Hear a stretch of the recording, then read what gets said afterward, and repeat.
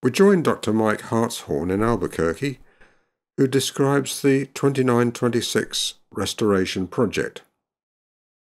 The New Mexico Steam Locomotive and Railroad Historical Society was formed in the late 90s. There were a few people who had actually been associated with this machine when they were young men and thought it would be just dandy to have an operating steam locomotive, the 2926, uh, based in Albuquerque. And after all, uh, everybody knew that it was in excellent shape, that the Santa Fe Railroad took good care of its equipment. It wouldn't take much, uh, a little lubrication, perhaps some paint, a few gauges, and it'd be ready to run. So they bothered the city government to gain uh, title to this machine. The thing that did the trick was they reminded the mayor and the Parks and Recreation uh, people that it was dribbling asbestos over a city park where kids played.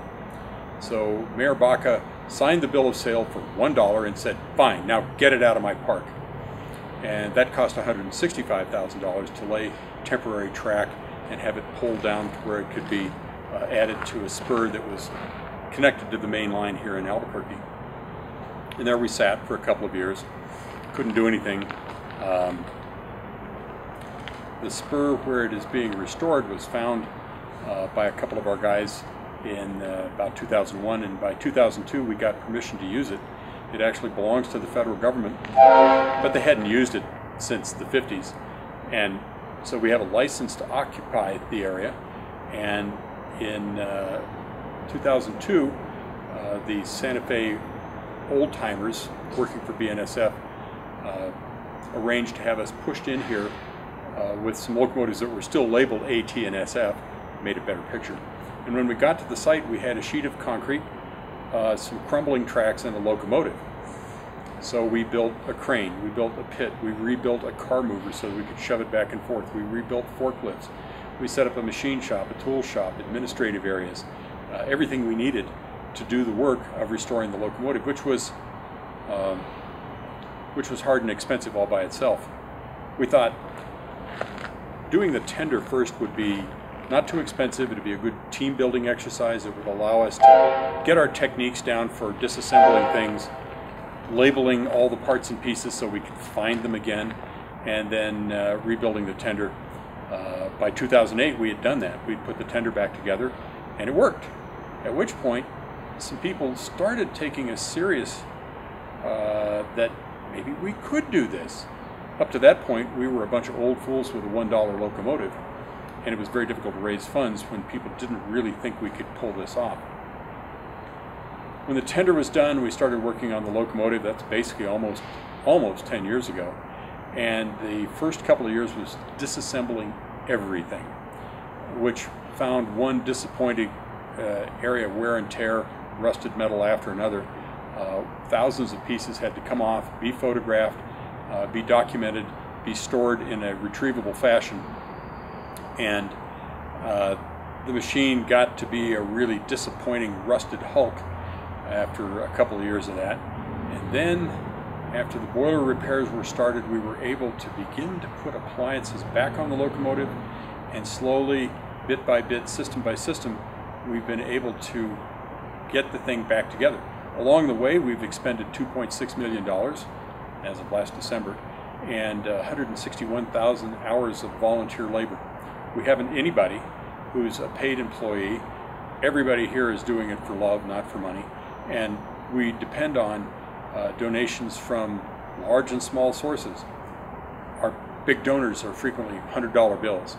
Uh, people who buy a t-shirt, we make a little money on that. Uh, or people who remember us at Christmas time and give us a little gift. Uh, the Latin phrase is ade parvum parvo manus acervus erat. Adding a little bit to a little bit, a great deal is accomplished. And that's what we've done. Uh, we're at the point now where by the end of the calendar year 2017, we'll have our first fire in the boiler to make steam to clean out all of the appliances and the valves and the passageways with uh, uh, the steam that's, that's from the boiler that done, we'll put the pistons and the valves back in and mechanically be ready to run. We have to assemble the new electrical system which has been designed for the machine. Uh, we have to build uh, about 80% of the jacketing is yet to be finished. We've got a head start on that. Uh, that and the new installation will go on the machine and it'll be ready for test runs. Gee, that could be a year from now, it could have moved under its own power multiple times. So it's getting to be the good part of the project. This is exciting. Yeah, now you, you've changed the you've changed the typeface. We had, we had uh, some free stick-ons that were not the right font, but they made it look like it was finished. And these are hand-painted with the original font Yeah, by one of our guys, oh, the guy we named the lake after, right. Ernie Robart, who's actually done most of the lettering on the cars in Chama. It's kind of what he likes doing. Mike, do you know what the name of that font is? Railroad Roman. Really? There's a railroad Roman. Oh, okay. That's what they call it. And the Santa Fe used it, uh, you know, it was their, it was one of their signatures. And they put it on by hand. They weren't, they weren't stick-ons. They were literally hand done, so this is hand done. But this is the correct font, so the rivet counters can quit whining about that. Yeah. Twenty-four and a half thousand gallon water capacity, about seven thousand gallons of oil. And it, when we started, it was the two, two of the four dirtiest places in Albuquerque. The, uh, the cistern for water, uh, all those rows of rivets correspond with baffles that crisscross the inside of the thing, keep it from springing out when you load it with water. Uh, and every surface was covered with an enormous amount of calcium carbonate. Right. Uh, in the local lingo, that's caliche. And it was in places as thick as your hand. And we were afraid that pieces the size of your hand would break off and fall into the water intakes. Uh, Santa Fe had never cleaned it. So we did. We pulled three tons of that stuff out of there with hand tools. Um, basically with needle scalers and things, knocking it off the walls and scooping it up and passing it out in buckets. That, uh, that took about a year of Saturdays on my part. I've been in every corner of the inside of this thing repeatedly. The oil can up front is nested down inside, and it, it is, uh, the design was gen- generically for a coal-fired machine. Mm-hmm. So the pocket in which the oil can sits is actually a coal pocket. You'd recognize it as a place that would, that would go. So the can is shaped the same way. Shaped for coal. Uh, The, the, the mm. oil can mm-hmm. fits where the coal pocket is, Right. edge to edge. It's the mm-hmm. stupidest looking can you ever invented. If you were going to make a 7,000 gallon oil tank, you'd probably come up with a rectangular solid. Well, not so here. And Well, the that- oil that they used was what was called bunker C. Now they call it fuel oil number six.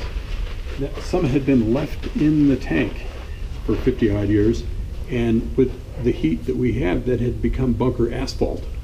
Uh-huh. So we literally had to dissolve it with 55 gallon drums of kerosene and then go in in supplied air suits like a diver and muck the stuff out again. The supplied air suit went in white, came out completely black, and you throw it away after one trip.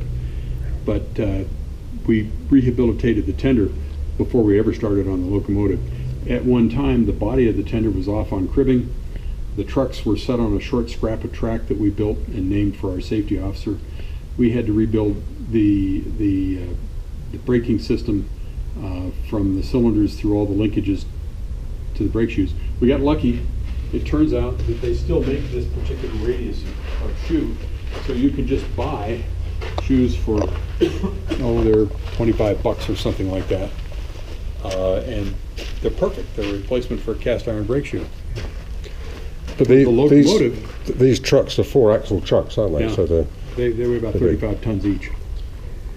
Just the truck, which is not a trivial exercise in, in repairing and because people think when uh, you start a big job like this, oh, we'll do the tender. That's the easy bit. That's Well, we that- thought it'd be easier than the locomotive, and we thought it would be easy.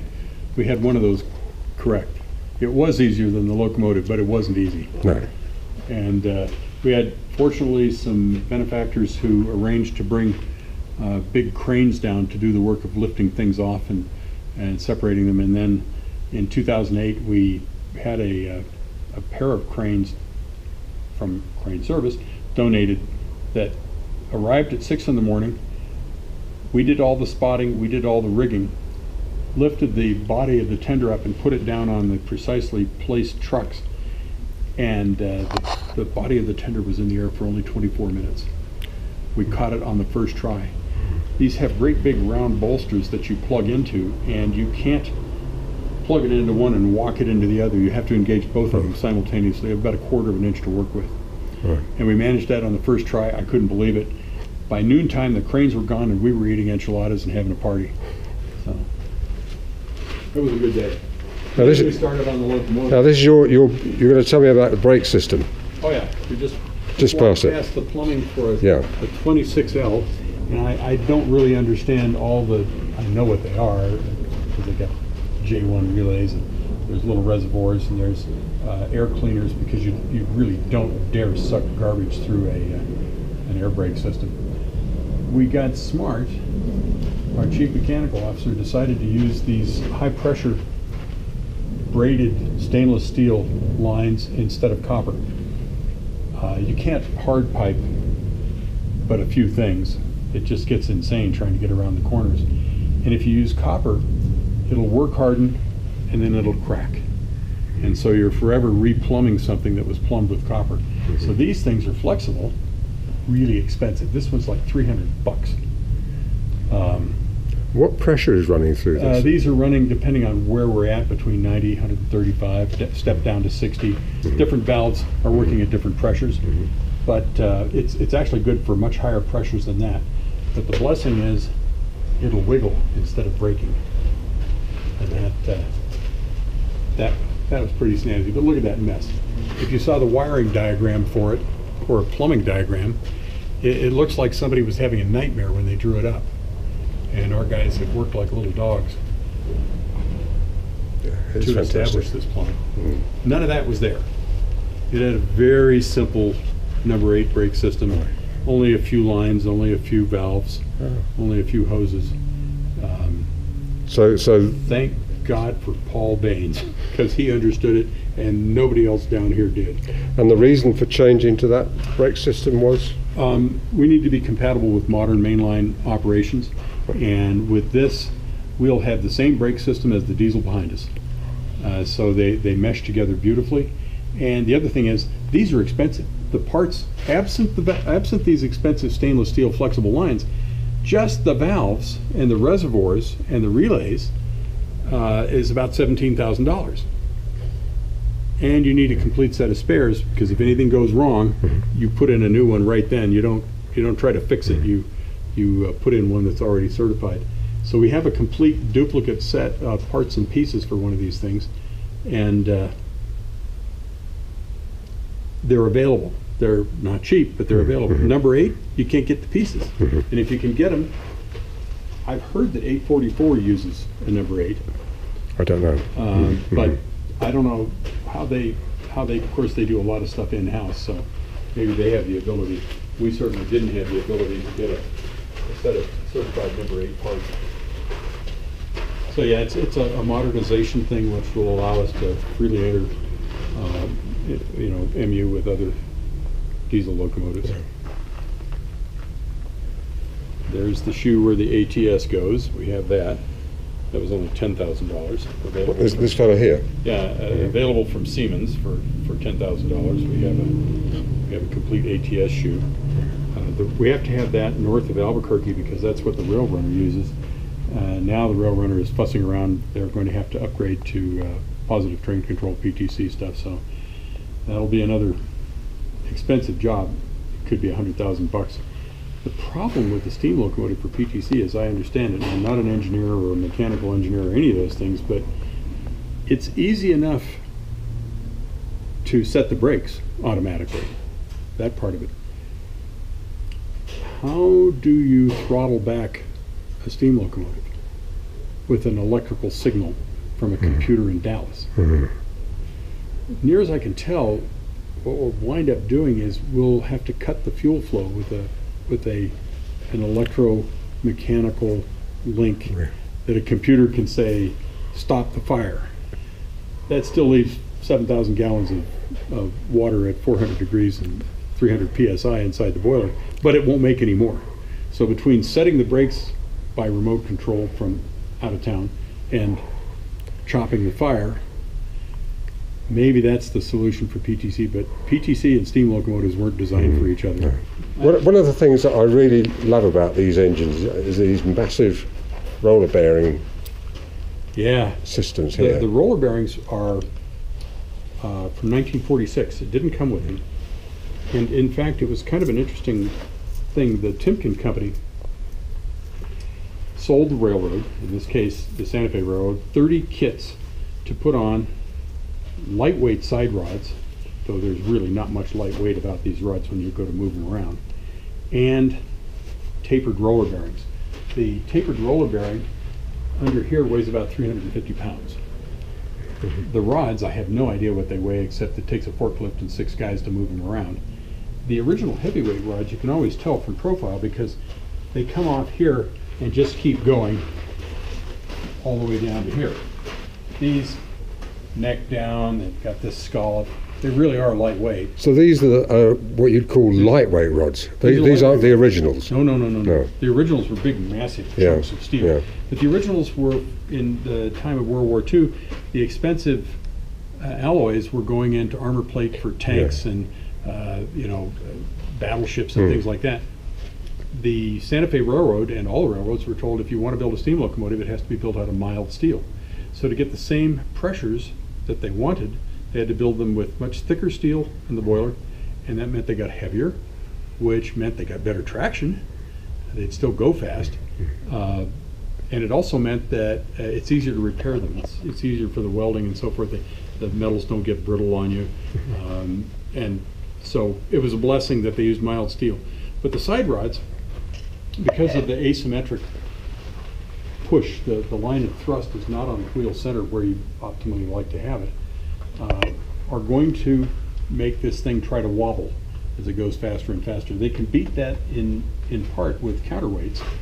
These counterweights are steel cans that were filled with lead shot. And if you look, you'll see marks on them and scars.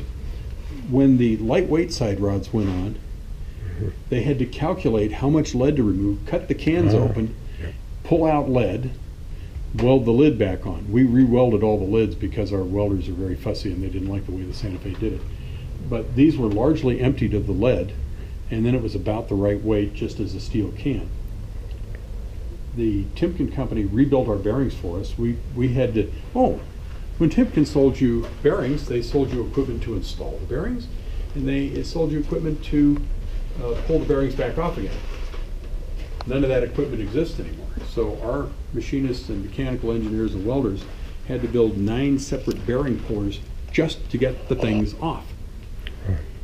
We divided them like archaeologic specimens by segment in specially built crates that were the size of a footlocker and made eight separate crates and found the drawings for these in a museum in Texas, got the drawings copied and sent each crate to Timken in South Carolina where they have a rebuild factory. And the bearings were older than anybody in the factory.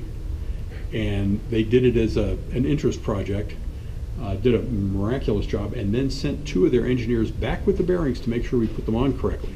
They didn't want to see their work messed up by a bunch of rookies. Well, we had to build nine separate bearing pushers to get them back on. Their interference fits.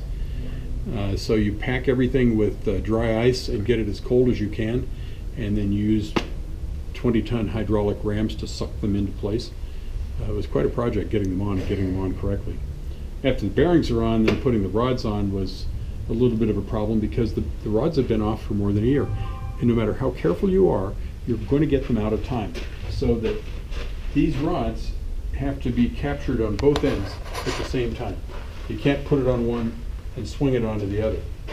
So if these wheels, where those crank pins, are a little out of time where one pin's farther around than the other, you, you can't get the rods on. We had a PhD, he was down here calculating how to jack up an axle against those springs, grease up the, uh, the rails, and use come-alongs to turn the wheels until they were the right distance so that we could get the side rods on. And there's this 85-year-old guy in here, it's about eight, nine years ago, who had actually run this machine as a young man.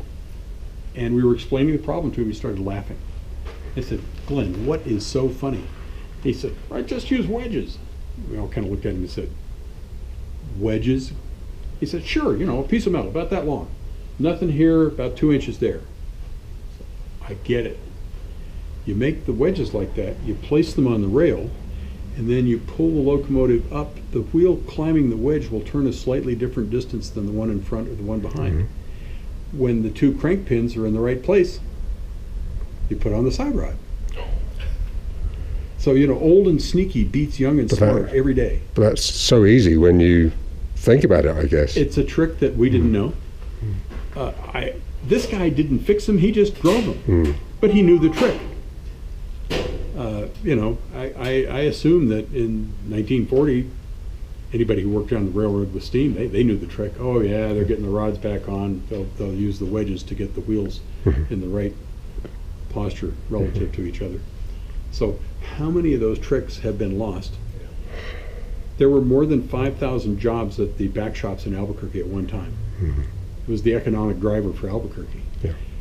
And how many really clever things were known by just anybody? The apprentice could tell you, the secretary might even know. Clearly, the guy who was doing the work had done it a hundred times. And none of that knowledge is around anymore. Yeah. We're reinventing and, and finding things out the hard way that everybody just knew. well, I guess almost all of it was not documented. Why bother? Everybody knows. Mm. You know, my dad knew. You know, when I went to work, they, the the guy who was running the crew said, "Listen, kid, you do it like this." Um, why would you write something like that down? Wow. You had to have erection drawings to build one, Yeah. um, but fixing them.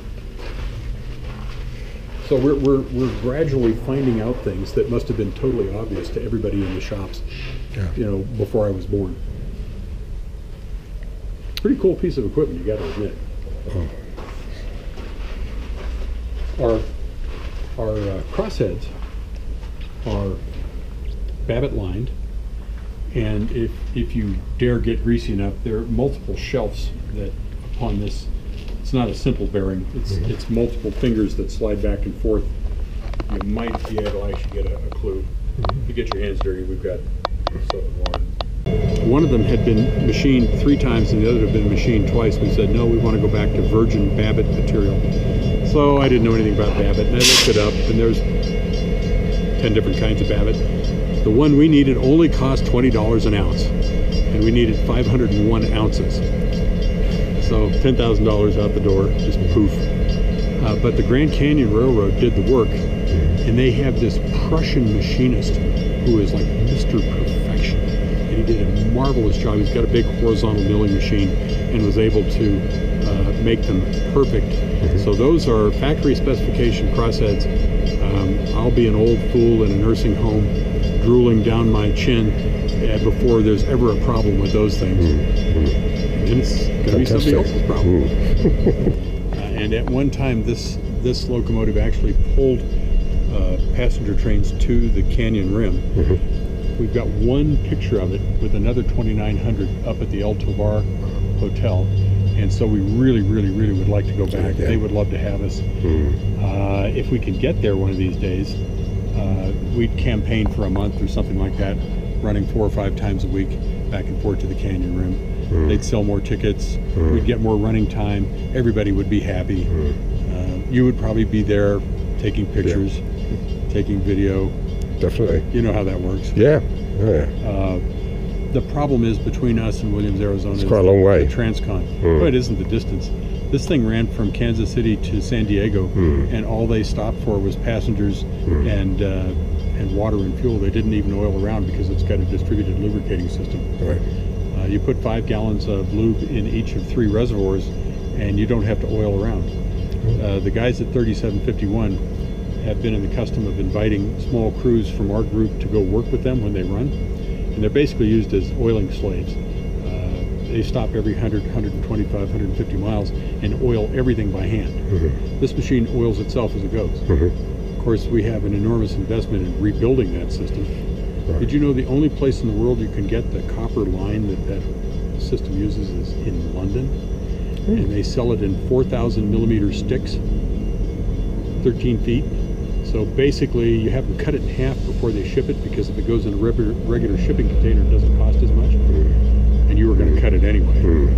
But yeah, there's only one place to get the copper, and we had to put in new copper. It's very heavy walled. Right. It has a little tiny hole down the middle of it, a great big thick wall, because Right. it's under pressure. I, I think I saw the the oil. You, you put, System. have, yeah. There's two pumps on the engineer side, and there's one pump on the uh, fireman side.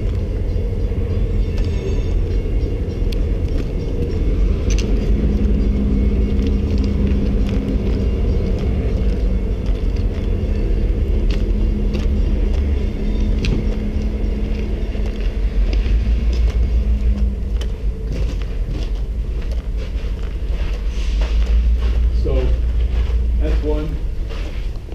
This is the other. They're steam heated to keep the lube nice and juicy because without the steam heat, it's basically worse than syrup. And the the copper lines are are insulated. Uh, the original insulation, of course, was asbestos, which we had to get rid of. Uh, that was an expensive little proposition, getting rid of the asbestos. This is a braided ceramic, um, really expensive stuff, but works great and you can follow the lines. They go all over the locomotive and they find little distribution boxes that further break it down. There are 13, let me give it a reasonable example. 13, 13 of these boxes. The lube comes in here and there's a mechanical gizmo that, that as the lube comes in is hydraulically pushed around in four corners so it very slowly divides the incoming into four outgoing spurts mm. That then travel off to a journal or wherever it needs oil. So there are, count them out, four times 13 places that get oiled all by themselves. And this, the 3751 guys are jealous. I'd love to have that, eh? Yeah. Well, the worst problem they have apparently is that particularly on the desert runs, the refrigerator in their tool car is packed full of lubrication sticks. Because it has to be kept cold or it'll just run all over the place. So they can't keep soft drinks and other adult beverages inside the refrigerator. They, it's packed full of, uh, of uh, cold lubrication sticks. Is it, it, um, Here, you can see a couple of those lube lines come down to a journal here. Right. Which I've decided is why they put holes in the wheels, so you can mess with those things. Except you have to work the locomotive back and forth until the wheel matches Mm. the fitting. And then, of course, if it matches this one, it doesn't match anything else. Mm. So we've done a lot of shifting back and forth as we've fiddled with re-plumbing all of this stuff.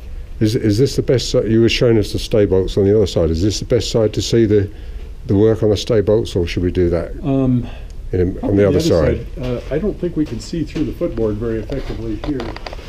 You you might see one below the footboard. There's a little square patch here. You could get that all in one field of view. Oh yeah. But that's a patch. Uh, behind the footboard is another patch. Over here, again below the footboard is a third patch. These are little ones. The one on the other side is, uh, you know, many feet wide in every direction. It's it's bigger than my it's bigger than my uh, dining table. And uh, that was a that was a slog. We spent a long time with some spectacular welders. We had excellent support from the local 412 Plumbers and Pipe Fitters Union. Um, two guys who could weld anything have devoted an enormous amount of time just because they love us doing some of this pressure welding. We got lots of people who can weld, but not on a pressure vessel. Mm-hmm. And th- those certifications are part of the records that support the and four, which is what the FRA calls a, a boiler card. I mean, if you go to a, an industrial power plant or the university, there's a boiler card, which calculates what that vessel can be be worked at. Um, different different words, same problem, and because of the fact that a boiler here that blows up kills the three of us before we knew it happened, they're serious about those boiler cards. The Form 4 is uh, um, probably one of the most elaborate calculations that any of us have ever had to make. And fortunately, we've got a guy who has a PhD in materials science who formerly worked as a vice president at the Sandia Laboratories, and that's his problem. And if there was ever a guy made for the job, That's it. it was our boy Frank. So he's he's labored with that. It's it's it's ready for signature now. Thank God. Now, the, the as- presumably the lagging on the boiler was asbestos. It was. And so, It what, what, what material do you use? We'll will you use- lose? We'll use a, a ceramic called kale wool, which uh, the plumbers and pipe fitters and welders love. It is almost as good as asbestos from a thermal point of view, Hmm. but it's not asbestos. And uh, we spent Does it come in sheets, or do you? Um, how do you bend it? Or rolls, uh, of rolls of, of blankets. Actually, Oh, it's flexible Two foot then. Mm-hmm. wide, two foot wide blankets, and then we have a slightly different material for the area of the boiler straight on top where you might need to walk. Mm-hmm. Uh, we have a uh, um, we have a heavier uh, version that comes in, in slabs that'll stand being stood on. Uh, but yeah, that's one of the next big problems is we're fabricating a whole new jacket for it. The original one was rusted to pieces. that's the, the outer metal jacket. Right, Yeah, and that's yeah. and the only thing the jacket does for you is keep the insulation from flying off. Yeah. It's not for streamlining. It's just Purely to keep practical, all that yeah. expensive uh, insulation on. Mm-hmm. And asbestos worked extremely well. And did you keep all the all the old jacket sheets for, as as Oh yeah, as templates? As well as as much as could be. Many of them were in such shreds that it was hard to make templates out of them. Hmm. We kept every one of them. We mapped every one of them. We've got documentation and photographs, and they're all numbered and lettered, and but they're such junk that you're almost starting from Mm-hmm. Yeah. scratch. And sheet metal work turns out to be a real pain in the butt. Mhm. It's heavy. It's hard. You take your perfectly designed and cut piece, and you drag it up on top of the locomotive, and go, damn, it doesn't fit. So you make little marks on it, and you drag it all the way back down, and you snip out the piece you think didn't fit, mm-hmm. and you drag it all the way back up, and it doesn't fit. So you mark it again, and you drag it down, and after about five trips, it finally fits. right. There's 50 pieces left to go. Keep keep working. These these driving wheels are 80 inch. 80 inch drivers. Yeah. Mhm. Uh, Yeah. and each of them are pretty heavy. I have no idea how heavy those are. Did you have to take them away to have them turned, the tyres turned, or No, we've got a we've got a superb profile. Just by pure dumb luck, Santa Fe left these with a with a a, a grade A profile on them. A couple hundred thousand miles before anything has to be done to them, if then. So, got lucky on that one. So? These are the tyres a- as As, as we found it, and they're not the originals. They are obviously put on somewhere along its life. yeah. Uh, it only ran about a million miles. Started running in 44, and they uh, they uh, put it up in December of 1953. So somewhere they put new tires on it. Somewhere. And the c- cylinders all. Have you had to rebore the cylinders or anything? We, we honed them.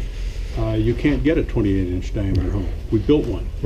Uh, w- a hydraulically driven hone. And before we put the rods back on, because we had this absolutely perfect crosshead, courtesy of the Grand Canyon Railroad, we actually built a hone that would hang on the crosshead. So it was already trammed so that it was perfectly centered on the cylinder.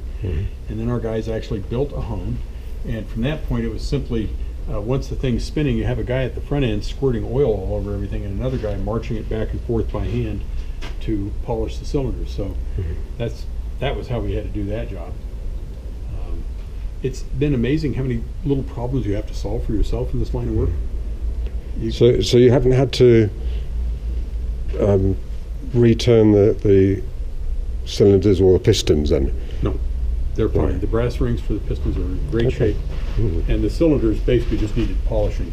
Probably would have been just fine the way they were, but we have some perfectionists here that weren't going to settle for anything less than the best they could arrange. Yeah. So yeah, that's and to rebuild those too. Um, it turns out you can get a 14-inch hone, and our air pumps basically we had to take them completely apart. You notice there's new copper gaskets in them. Mhm. Um, all of that has been honed. The pistons, to get them trued, uh, we found a place in Phoenix, Arizona that does aircraft landing gear and ship them the, uh, the the shafts and they they trued them and so they're perfect. But yeah, do it yourself. So there's two sets of air compressors. one, now. on- one behind each pump. Yeah. We actually going to take the pump shields off so we can do some more work on them. We just had them on for the open house because they make it look a little more finished. But yeah, the, uh, the work continues. This, something that they didn't plan on, this is an equalizing airline that our guys have been uh, fabricating and finally got on and tested uh, so that we can we can run behind another locomotive and put our air reservoirs uh, to theirs. So Mhm. if you're if you're going to run multiple units together, it's smart to have the uh, brake pressure uh, shared between the reservoirs of both locomotives. So you have to have an equalizing line to connect those reservoirs. And they never planned on doing that Mhm. when they ran this, so it was easy to rig one out the, the rear of the tender, but we had to find a place. This this pipe had to be snuck through a bunch of places to get here, so that we'll have another hose. So again, that was never a feature on the original engine. No. no. they didn't bother. They, weren't concerned with that. Yeah. And look, it rained on it and got it all messed up again. Yeah. And the boiler itself, you can see the size of the smoke box door. It's, it's huge, isn't it? Yeah, You could have a meeting in there, Mm. yeah, play cards. Mm. The uh, you saw how big the firebox was, and there is a a story that might be true, another good story, that Baldwin was so proud of their massive fireboxes they held a meeting of their board of directors in a firebox, just to kind of thumb their nose at the competition. Mhm. Yeah, Lovely story. nothing nothing small about this thing. Nothing lightweight. And the, the uh, putting the plumbing back on the running board. This photograph for you from in here? That line. Yeah. Yeah. poke around on our website uh, a few years back, you'll find pictures of a great big gaping hole Mhm. in the side sheet. Yeah. Put that off and all the stay bolts thre- uh, threaded out. Right. And then we, we chamfered both ends on the inside and the outside, and those are uh, full penetration welds rather than threaded. So like these are all, these were threaded. hmm And of course, the, the flexibles are threaded too. If you look at these So, sleeves. so those are the those are the flexibles, then. Right, and there's quite a few of them out there. Oh yeah, I can see. Yeah. They come in two sizes, big and bigger. Yeah. And if you if you get up close and look, you realize they're not all quite the same. You see this one, it's got a it's got a waist here I can stick my fingers into. Mm-hmm. That's an original. Mm-hmm. We had more than a thousand of these that were so badly rusted that what we had to do was, was shave them off with, with grinders and replace them with a larger sleeve which was welded.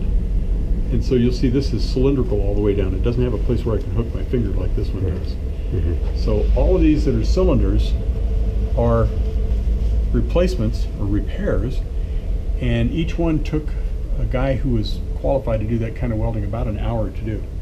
So the hardware cost about 75 bucks, and the value of the labor was another 75 bucks, multiplied by slightly more than a thousand.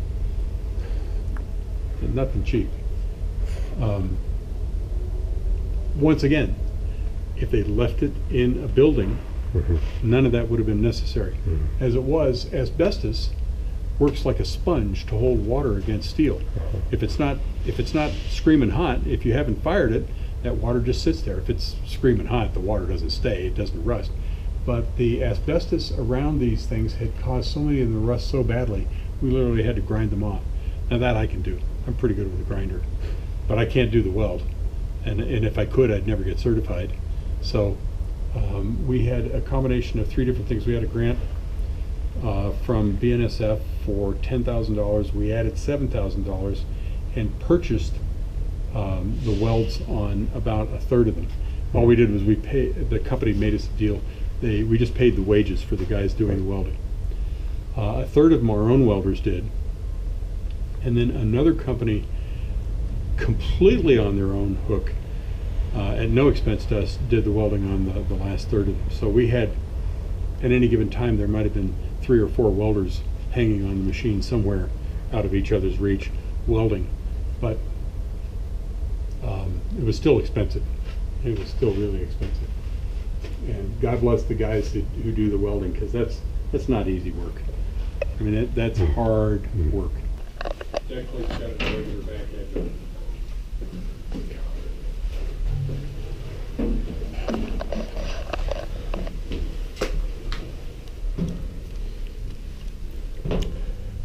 Yeah. We're gradually getting things assembled in the cab.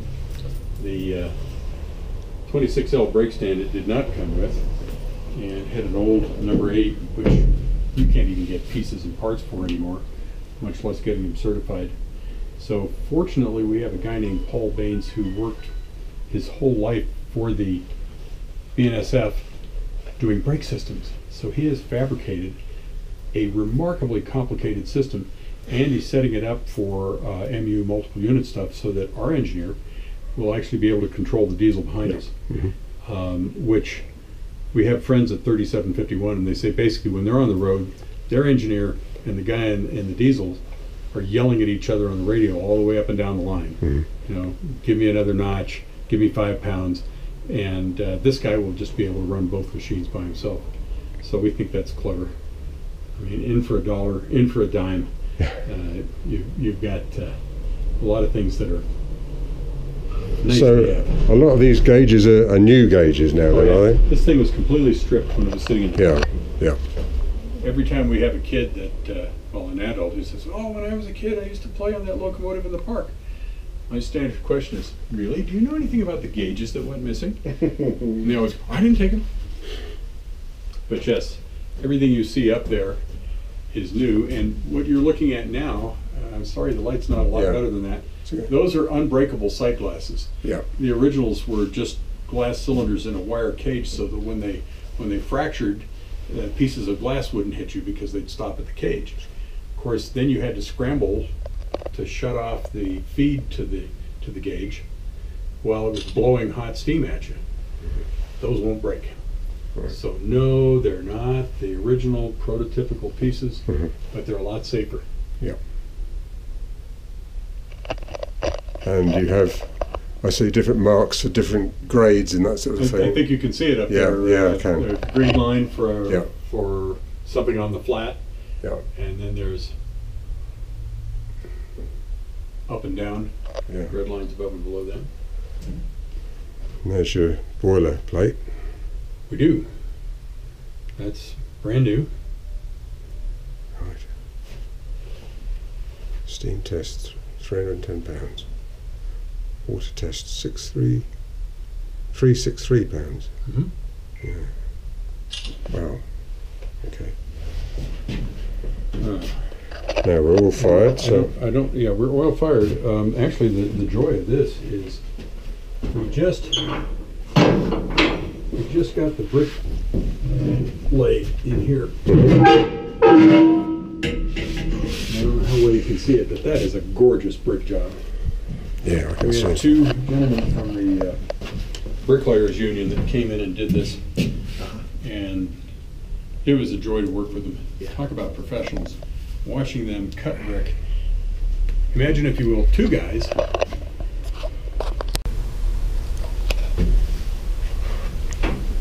Speed limits around here won't won't let us. uh, In some places, we might be able to do 90.